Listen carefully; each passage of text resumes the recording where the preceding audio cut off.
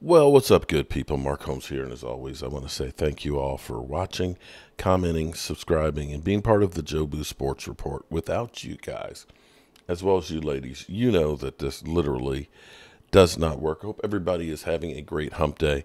You know, I am just, oh, jeez. Like you, probably tired about the whole watch situation with CeeDee Lamb it's getting to be ridiculous with the Cowboys that everything is so painful. You would think that we were building a rocket to go to Mars. I mean, honestly, when we talk, you know, it's so complex and, you know, people expect these things to just be done in a million. You have been talking since last year. We talked about last year, you guys were talking about paying CeeDee Lamb.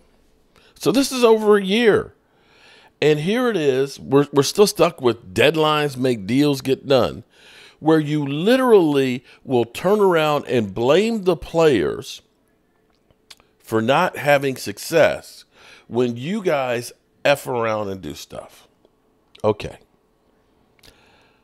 Let's say, now, now Brian, Game Time Brian kind of beat me down and said that the Vikings screwed the pooch because they paid Justin Jefferson so much money and yada, yada, yada. But I, I want to actually look because here's what I'm going to say. Clearly, the Joneses don't know what they're doing when it comes to contracts because we've had a contract situation problems with the Cowboys forever. This is not new, people. You can actually trace, excuse me, the Cowboys' issues with the salary cap back to when we had Wade Phillips and things. Way back. Do you guys remember Marion Barber, rest his soul? Who was a part time running back. He wasn't the starter, he was sharing time. Marion the Barbarian, who was beast mode before he was, who was literally running over people. It was exciting, exciting but you knew his career is not going to be long just because of the nature of the way he played football. But yet the Cowboys signed him to a $53 million contract. I think it was seven years, which was unheard of for a running back at that time. You can look at, and of course he was gone two years later.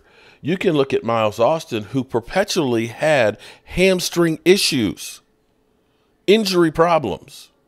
Okay? And after one good year, they paid him. And the reason I bring these two up is you can directly correlate Marion Barber's contract with the same mistake that they made with Zeke Elliott. You can take Miles Austin's contract with a player who was constantly injured and relate it to Michael Gallup's. The thing is, is this is what's crazy to me about the Cowboys they will go through and they will play players that have an injury history or at a position that you normally don't pay. You see what I'm saying? Running backs, the whole thing. Look, you don't pay running backs for longevity. You don't look at running backs long term. You know, players to sign like like CeeDee Lamb, I like players that don't get injured. I like ones that have been getting better every year, as opposed to Michael Gallup, who, mind you, we're spending four million in dead money this year and eight million in dead money next year. So this this is the maddening thing to me is the Cowboys will waste money in saying, let's get rid of CeeDee Lamb because he's too expensive. Take a massive dead hit literally pay more for CeeDee Lamb to be gone than the Cleveland Browns had him for the first year. They will pay money and waste $13 million in dead money on Michael Gallup, a guy who has been injured. But yet, a guy who's arguably one of the top receivers in football, nah, man, we, we, we can't pay him. We can't take a risk on that guy we can't take a risk on a guy who has actually worked on his body where he's a little little bit beefier a little bit stronger, and got more of an attitude after coming off of history breaking numbers for the team. We're going to sit here and, and, we probably offered him, you know, they, they said that the deal they offered was under $33 million. Okay, all right. You know, I it, I get it, people. I get it. That's that, that that's that's life changing money for you and me. But you have to understand, we are talking about the top of the top in the world at what they do. Okay, I don't care if you clean toilets. If you are the very best toilet cleaning company out there, you're getting paid. You're getting paid a lot more than everybody else. So we keep getting this whole thing that you know we can't pay the. You had no problem paying Jaylon Smith, another guy who was injured, another guy who was literally on one leg. No problem with that. We have the highway littered with dead contract money of paying guys that were injured. Tony Pollard, franchise tagged him. No problem. Even though he's coming off an injury. But let's say, hypothetically, that the Cowboys, which don't seem to understand how to work the contracts, it's so painful, it's so difficult, it's so hard, and won't get anybody who knows what they're doing. How about this? How about the Cowboys just say, you know what?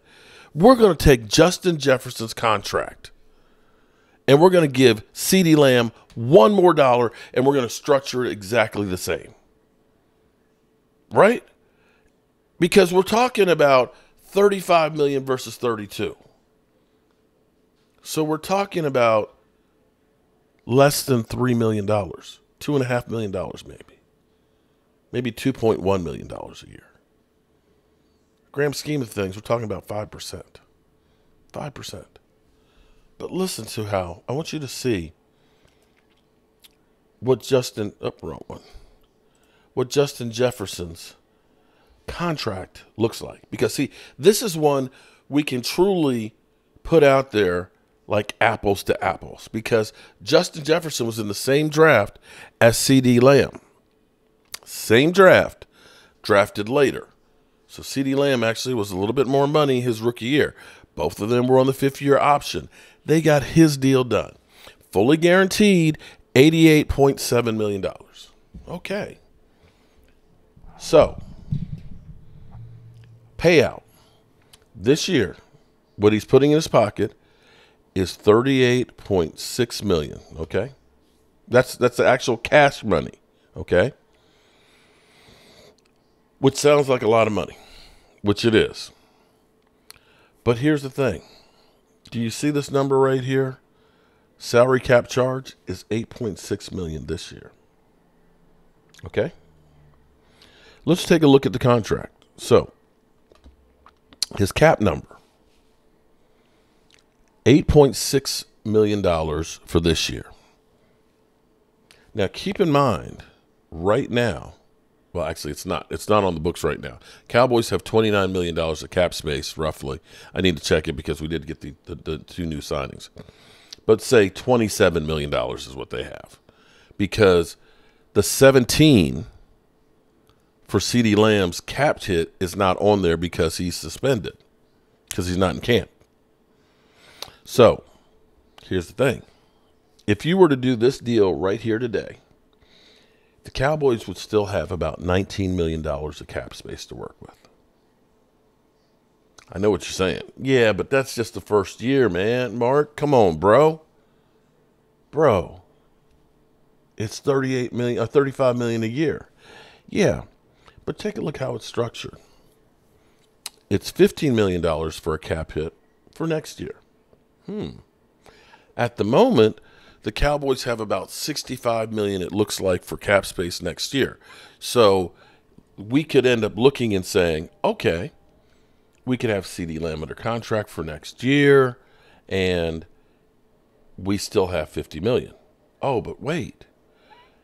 If you don't spend the money that you save, that $9 million that you save on the cap this year. Follow me? Because his hit would be 17 million if they don't get a new contract. 8.6 if he does. It's $9 million. That $9 million could be carried over to next year. Oh, wait a minute. So having him signed with that $50 million left over, if you carry that 9 million over, you have $59 million. So let me say to you right now, which is better? The Cowboys doing what they're doing, basically and alienating a player, keeping him off the field, right? Eventually, maybe they don't get the deal done and he has to play and come in mad that he's getting the 17 million and then he's getting hit with the fines for the three games, so somewhere to the tune of $5 million, that he's going to be pissed off and so on, and a distraction, or paying him this contract. Now, I get it. His cap number does balloon up to 38 million the third year in 2026. Yeah. But here's the thing. In essence, what you're really getting is CeeDee Lamb for $8.6 million this year. Take the cap savings for the following year, and what you're really paying is is $6 million for next year. In essence, CeeDee Lamb would cost you would cost you only $14 million for the first two years of the contract. So explain to me why this is so difficult. You can literally give him that contract and be in better shape. You can roll more money over to help out with next year, where you could literally, because I don't see the Cowboys going out and spending big money. If they end up having $20 million right now, I guarantee they won't spend more than five of it. They can roll 15 million onto next year's cap and have more money to be able to pay other guys. And see, this is where I have to kind of call bullshit. Things aren't are, aren't always as they appear. You can look at Trevor Lawrence's contract, be it they had more years that they could hide money in, but you can even go three years down the road, and it's still not anywhere near what the Cowboys have for a cap hit for this year. Either the Cowboys literally are so inept at doing the contracts and don't know, or there's another reason why they're doing this stupid stuff. And the waiting is not helping you any. It's not. Not at all. All right, good people. That's all I have to say about that. And as always, I appreciate you all. Peace out.